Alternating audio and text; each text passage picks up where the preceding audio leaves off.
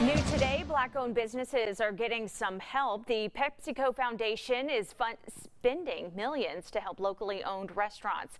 NBC Local 33's Rachel Riley explains how the capital city is getting in on the funding. Barely making it. That's how many minority owned businesses would describe this past year with the pandemic. Starting with the shutdown, there were no opportunities to really do catering events because people weren't having events. According to UC Santa Cruz, more than 40% of black owned businesses closed permanently during the pandemic. Compare that to 17% of white owned businesses. Just in general, we have less collateral.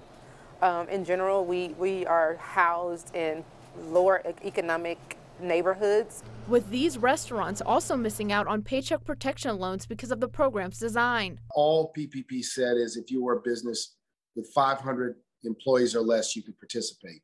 The program should have been targeted to businesses, uh, or they should have been a piece of the program, a component of the program for businesses with less than five employees. That's why PepsiCo and Urban League are extending a helping hand through the Black Business Accelerator program. Baton Rouge restaurant Odom's Kitchen is a recipient of this initiative, and they're hoping it takes their business and their delicious food to another level. We hope to be able to expand we want to be able to offer more services. Um, we want to be able to be that one-stop shop. It's definitely been a blessing, um, you know, just to see the customers smile on their face. The $10 million grant benefiting the entire community. When you do this, you're investing in jobs, you're investing in economic activity. It's teaching not just our generation, but even our youth to come back and be business owners. Rachel Riley, NBC Local 33 News.